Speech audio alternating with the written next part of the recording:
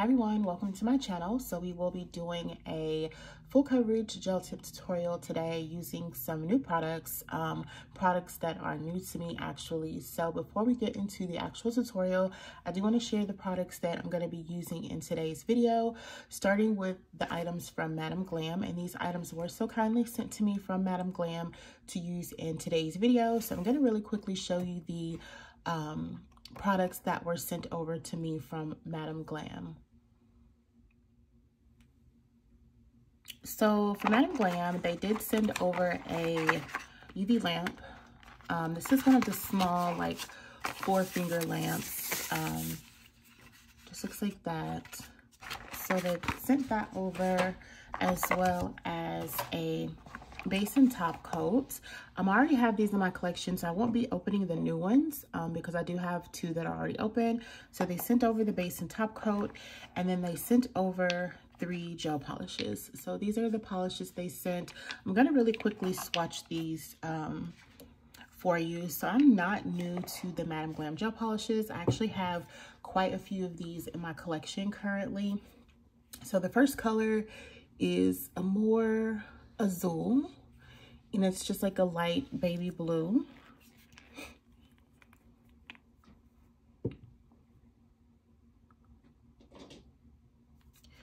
And I'm just gonna swatch this really quick on a swatch stick. And the thing I like about Madam Glam polishes is the opacity of them. Like this is just one coat of gel polish. Um, and look how much coverage you have. You don't even really need a second coat um, with these gel polishes.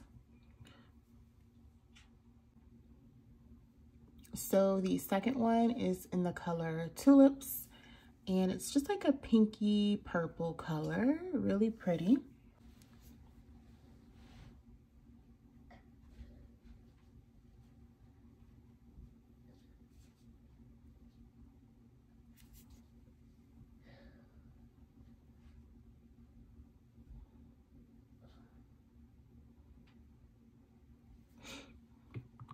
Again, that is one coat of gel polish. And look how much coverage you have with that.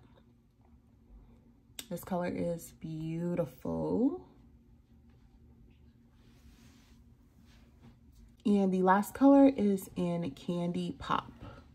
And it's like a coral orangey type of color. Um, it's got a little bit of pink, a slightly, I would say maybe a watermelon. I would give this like a watermelon type of tone. But again, it's really pretty.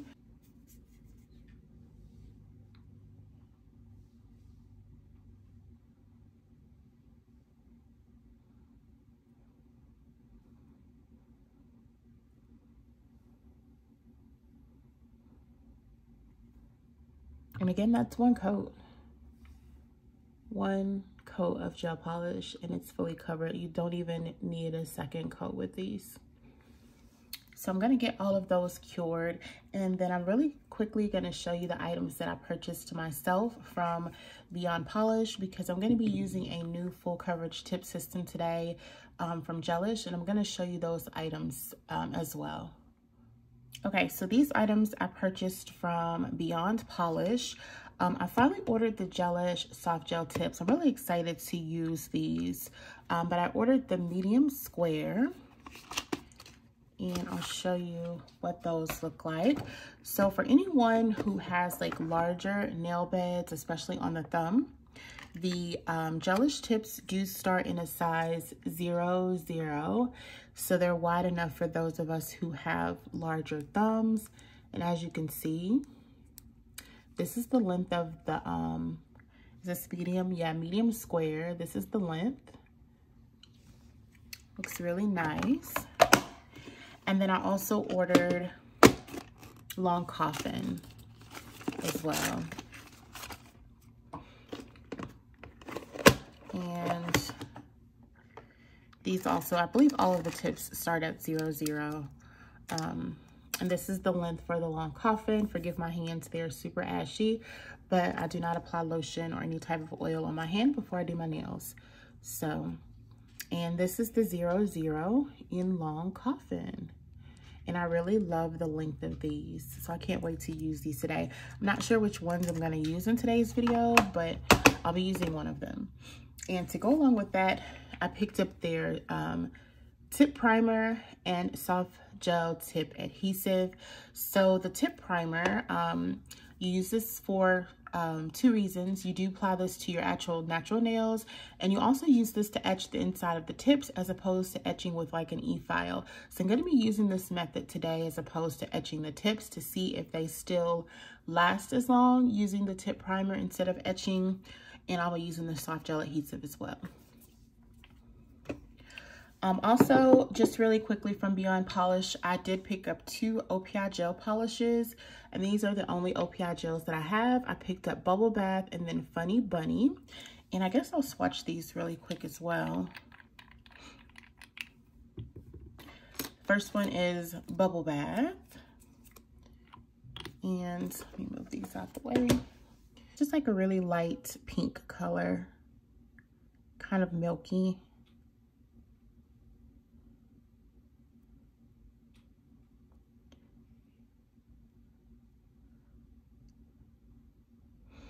So that is Bubble Bath. So this is Funny Bunny and it's just a milky white color.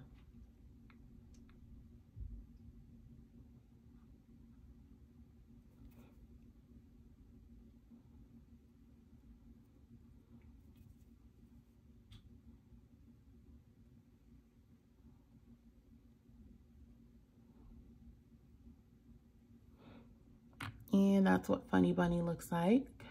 Just a milky white. These you'll probably have to do two coats if you want them to be a little bit more opaque. Um, but that's a really nice milky white color. And then finally, the last thing that I wanted to show you guys is going to be this Flash Cure LED lamp from the brand Allkem. Um, I have gel tips that I got from Amazon that I really love that are from this brand.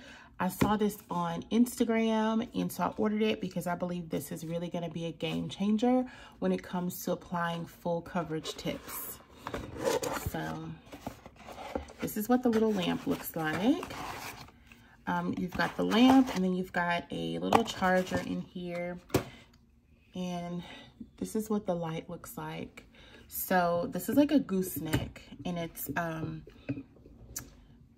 portable. So you just do like that. It's got a power button um, right here to turn it on. And when it's on, that is the light.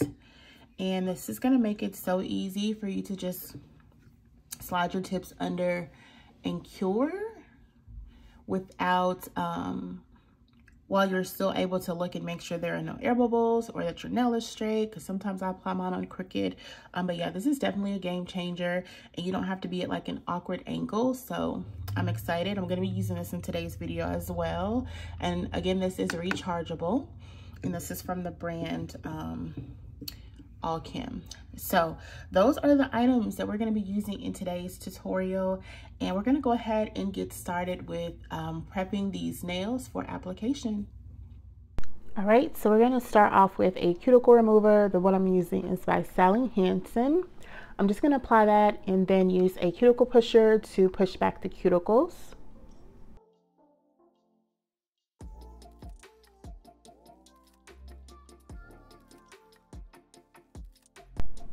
Next, I'll be using this cuticle clean bit that I got from Kiara Sky. And I'm just gonna run this around the cuticles to kind of help push them back a little bit more. And this also helps to remove any of that dry, dead skin that's still attached to the nail plate.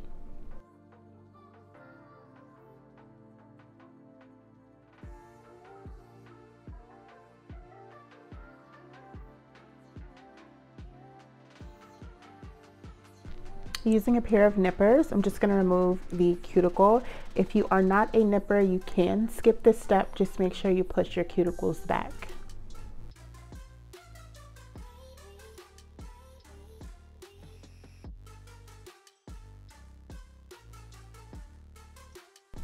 I'm going to really quickly go around the cuticle area one more time with a fine grit sanding band to remove any of that dry skin that I didn't remove with the other bit. And then I'm just gonna buff the entire surface of the nail.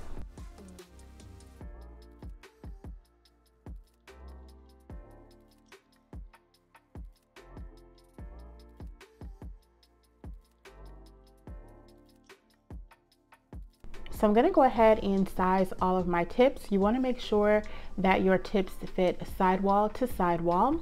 And once I've gotten all of my tip sizes, I'm gonna use a hand file to customize any of the tips that did not fit my nails perfectly.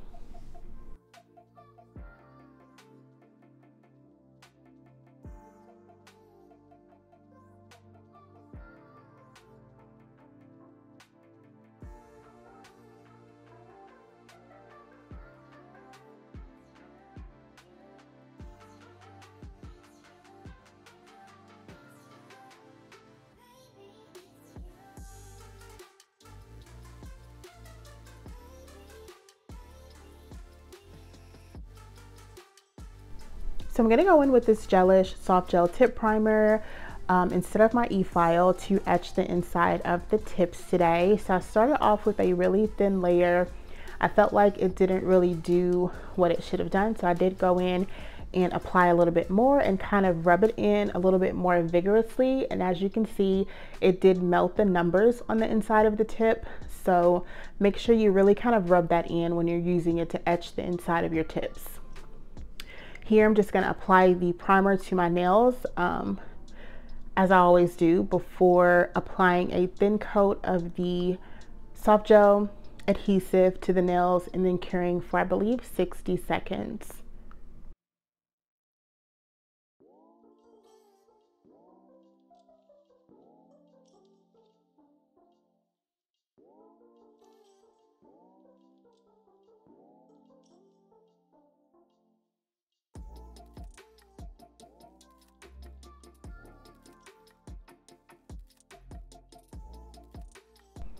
All right, so we're gonna apply that same adhesive gel to the underside of the tips. I like to scoop off the excess to make sure there's enough gel to cover the entire nail.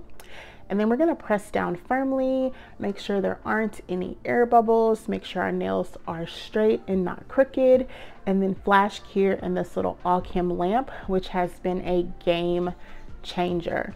If this is still available, I will link it down below. I purchased this from the Allkem website and I believe it was like 34 or $35.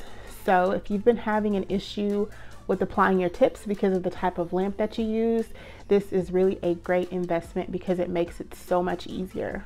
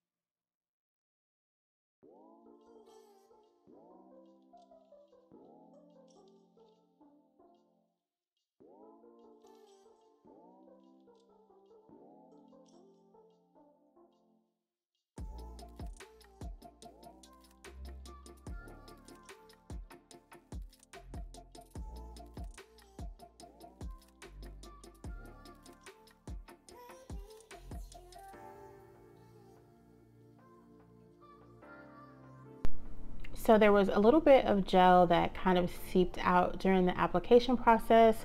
So instead of using my e-file to remove that like I normally do, I'm just gonna take a cuticle um, nipper and just nip that little bit of gel away. And it works just as good um, as removing it with an e-file or a file in general. Next, I'm going to take this fine grit. I believe this is a carbide bit from the brand Pana. It's a slim barrel. I'm going to take this and run this around the cuticle area. And this just makes sure to um, smooth out the cuticle area, seal the cuticles, make sure that there's no ridge or lip and that everything is super seamless. So I will link this bit below because it did work really well um, at completing this process.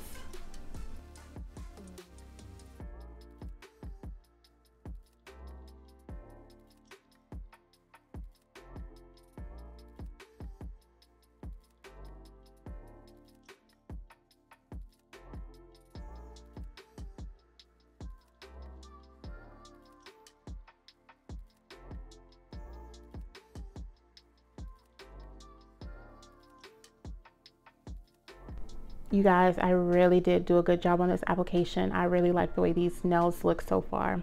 Um, but anyway we're going to be buffing away the shine with a buffing block. If you're going to be applying gel polish to your tips you want to make sure that they have a nice matte surface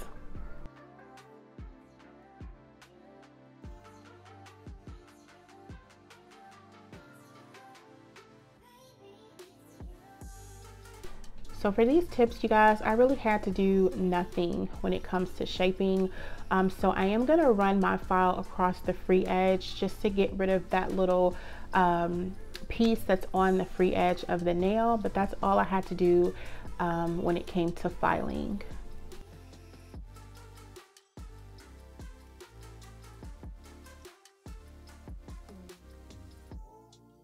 So for our base color, I'm going to be applying number 925 from Beetles. And this came in the natural or the bare um, gel polish set from Beetles. I purchased this from Amazon.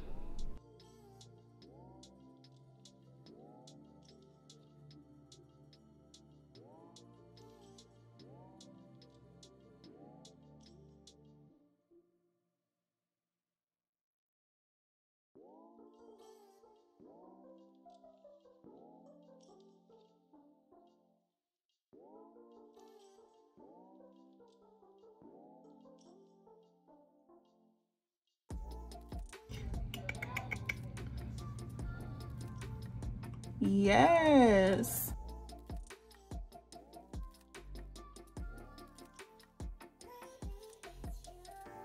All right, so it is time for the nail art and I'm gonna be doing a cotton candy marble for today's nails. So I'm gonna take this gel polish in the color Tulips and I'm gonna apply a thin line of that onto my little mixing plate. And then I'm gonna apply a thin line of the baby blue um, in the color Amore Azul right in front of that and use a dotting tool to kind of swirl them around a little bit.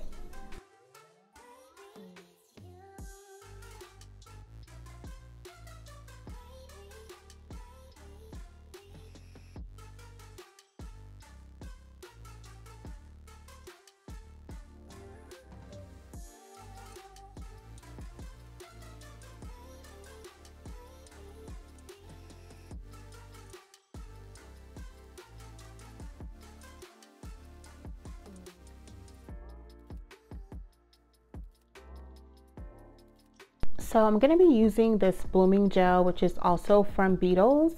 And this just kind of helps to make sure the gel polish that you apply kind of spreads and fades out a little bit. You can absolutely do a marble design without using the blooming gel.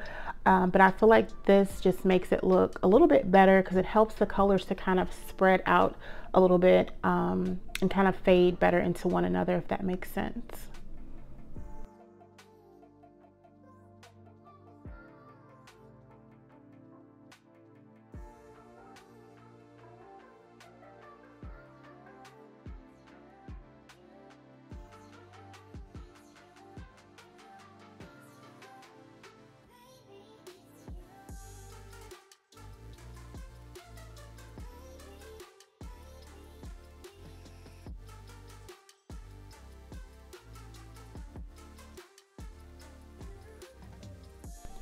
So when it comes to applying the gel polish to get that kind of marble design, um, I literally just scoop up the two colors from the plate on a flat brush and just kind of swirl them around the nail into that wet blooming gel. And eventually it kind of, you know, it spreads on its own um, and just kind of fades into one another. So there's really no rhyme or reason to this. You just apply it.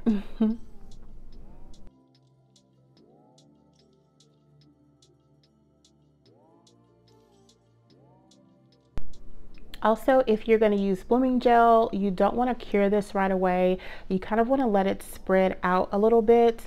Um, and then when you're using this method for marbling, a lot of times there's going to be a lot of excess gel, which is why you saw me kind of run my fingers underneath the tips just to remove any of that excess gel that kind of leaked to the side.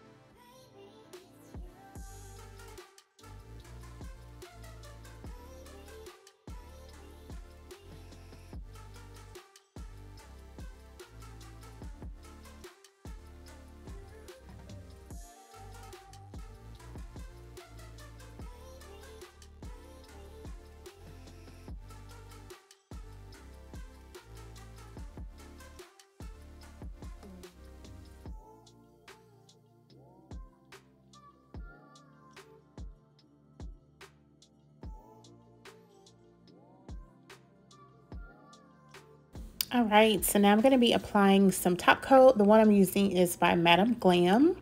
And I'm just going to apply a thin layer of this to all of the nails and cure for 60 seconds.